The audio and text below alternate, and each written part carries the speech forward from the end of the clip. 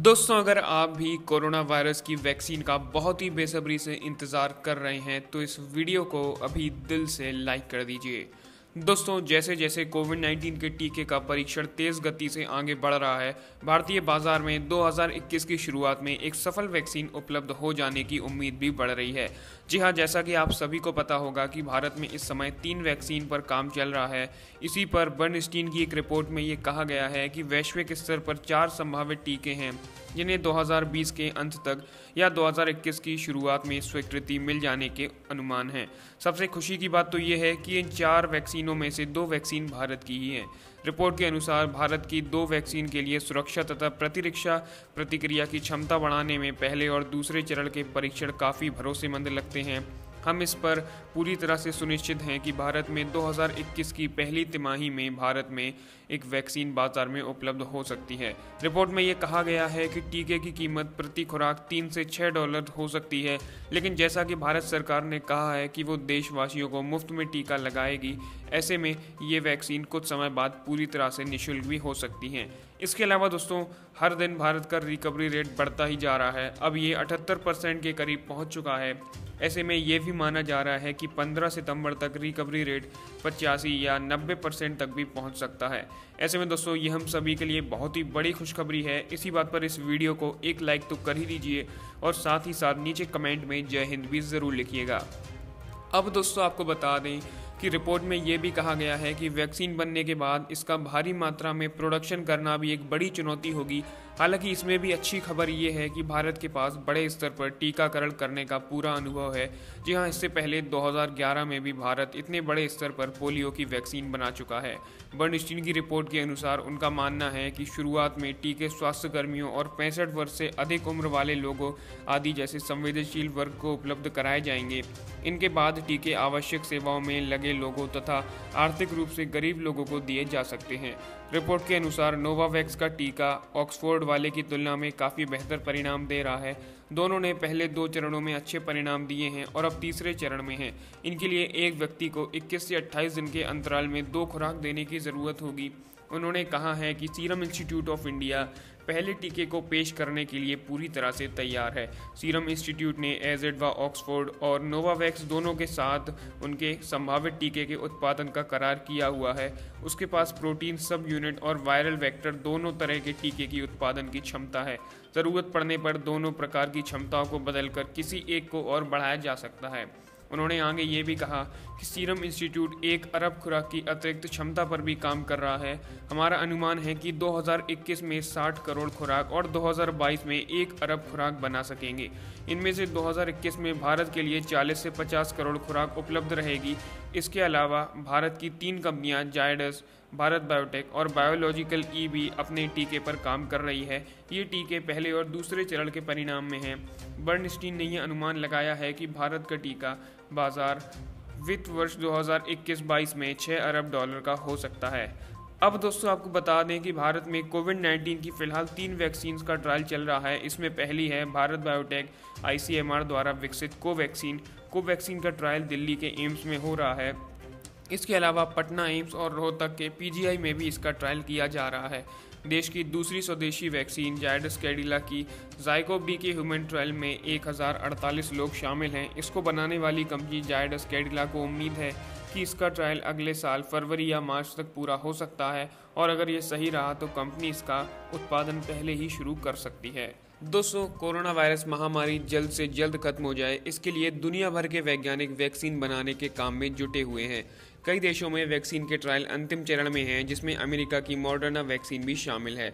अब इस वैक्सीन को लेकर भी एक बड़ी खुशखबरी सामने आ रही है। जी हाँ इस वैक्सीन को बनाने वाली कंपनी मॉडर्ना इंक ने यह दावा किया है कि ये बुज़ुर्गों पर भी उतना ही असर करती है जितना कि युवाओं पर।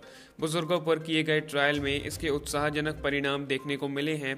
कंपनी ने वैक्सीन के शुरुआती ट्रायल का डाटा जारी कर ये खुश करने वाली जानकारी दी है।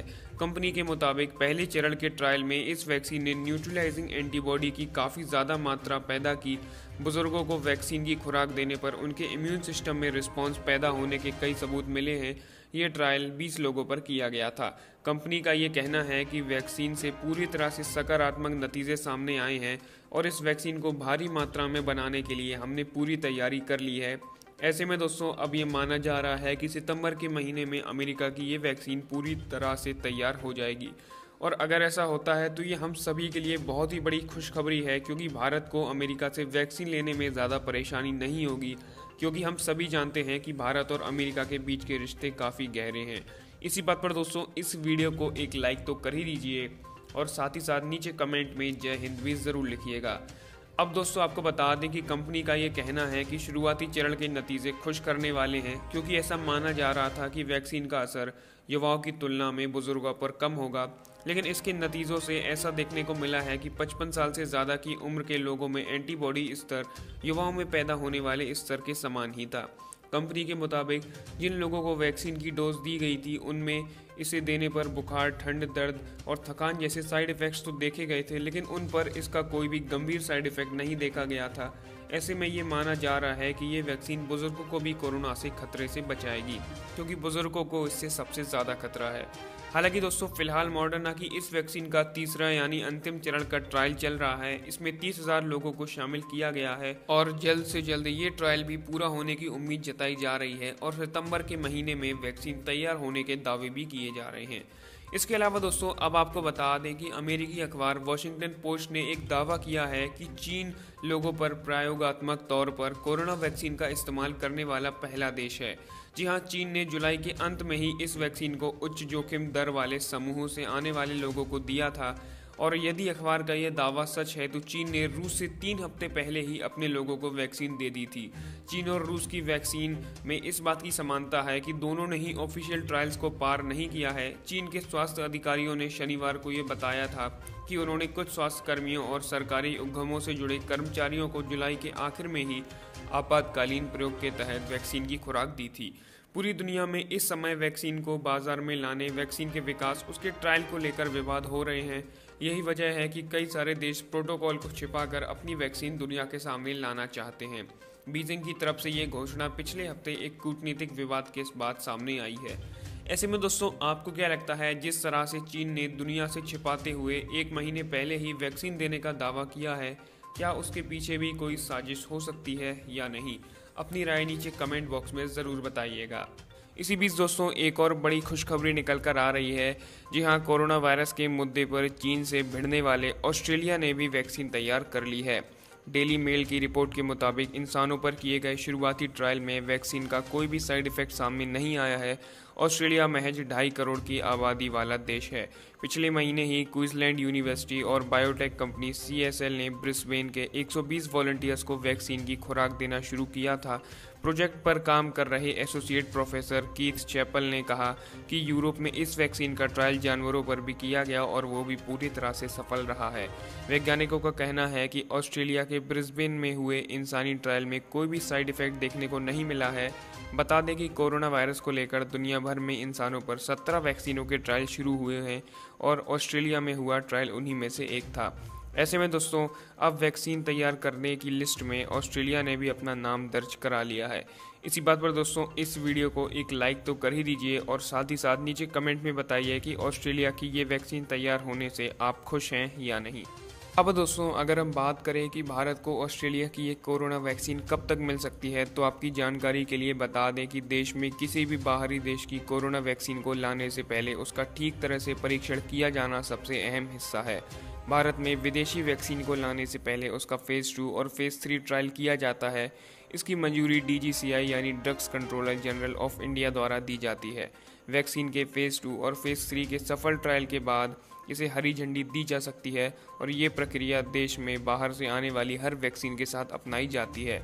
डेली मेल की रिपोर्ट के मुताबिक दुनिया भर में 130 वैक्सीनों पर काम चल रहा है, लेकिन ऑस्ट्रेलिया की क्वींसलैंड यूनिवर्सिटी की ये वैक्सीन कैंडिडेट ने प्री क्लिनिकल डेवलपमेंट स्टेज में सफल होने के गुण प्रदर्शित किए हैं।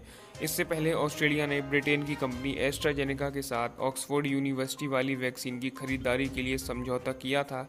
अगर ऑक्सफोर्ड की वैक्सीन सफल रहती है तो ऑस्ट्रेलिया को शुरुआती दिनों में ही सप्लाई मिल सकती है।